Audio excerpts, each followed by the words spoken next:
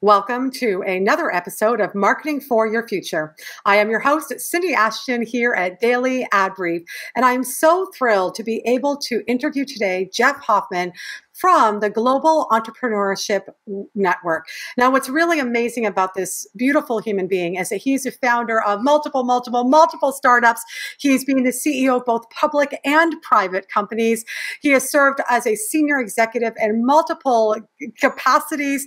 He is a part of very a number of well-known successful startups, including Priceline.com forward slash booking.com, uBid.com, and so much more. And more than that, he has the biggest heart. He's a humanitarian. He travels around the world helping youth to build their own businesses. Jeff, I am absolutely thrilled to be able to interview you today. Thank you, Cindy. I am thrilled to be here with you in particular. the minute that Jeff and I met, it was like instant. Oh, we like each other. He's really cool. She's really cool. Um, Jeff, one of the things, I mean, we could have you on the show a million times, but one of the things that I love that you talk about is concentric circles when it comes to marketing. Tell us what that is and why it's important. Yeah, so, you know, people's logical, sort of intuitive response to marketing is to cast a wide net, right? If let's say it's a, a digital marketing, if I drive 10,000 people to my website, 1,000 engage and 100 buy, then if I want to get 200 buyers, I just need to drive 20,000 people to my website and double it. So people tend to cast a wide net and they're focusing on the wrong end. They're focusing on how much traffic they can drive instead of focusing on the end of the process. Instead of having 10,000 people where 100 buy, I would rather talk to the 200 right people in my marketing that 150 of them actually buy my product or service. So that's what we're talking about. The concentric circles really, Cindy, is a dartboard, right? Because the biggest circles are worth the least, but they have, you know, in marketing, they have the most people in them. The circle that's worth money to you the most is the small one in the middle, the bullseye, because all those people are your customer and they're going to buy. So the whole point of that is focus on conversion, not traffic. I love that. It's about being really super strategic. So, as we're talking about that bullseye, you call them customer personas. How do we create those true customer personas, that bullseye? What's one of the steps? Yeah, so I'll tell you.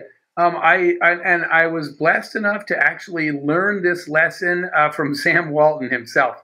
Uh, when I was talking about everybody in retail said you can't build big box retail in small town America. Um, so why'd you do it anyway? I got to spend a day with Sam, and Sam said because I didn't listen to Wall Street. I listened to farmers. And I thought that was fascinating. And he said, I learned more in a cafe in across the railroad tracks in the small town than I ever did in a boardroom. And so I took that.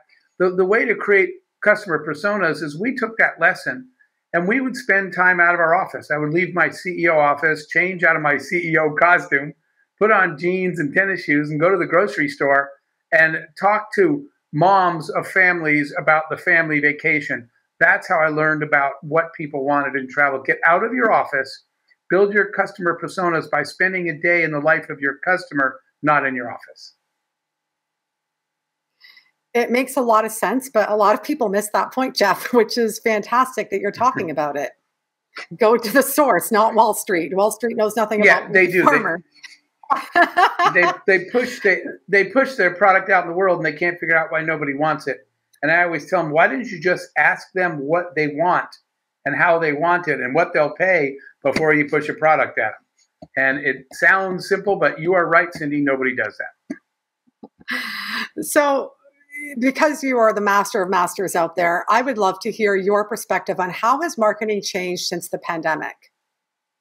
What's one thing? Uh, yeah, for sure. We, we definitely had to rely way more heavily on visuals.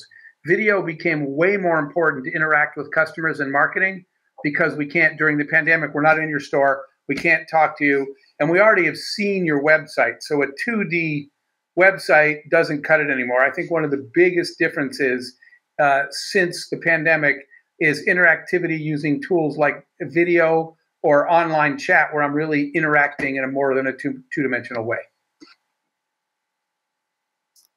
That is absolutely brilliant, Jeff, and so on point. People need experiences, they need connection, they need interactivity more than ever, or else you're going to lose them, especially with all the stress and the noise out there. Thank you so much for being on the show today. It's always a treasure to get to see you. Thank you so much for having me. Talk to you soon.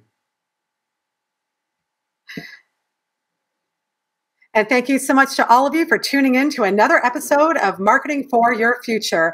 If you would like to connect more with Jeff, please be sure to go to dailyadbrief.com and go and have a great day. And we're going to see you on the next episode.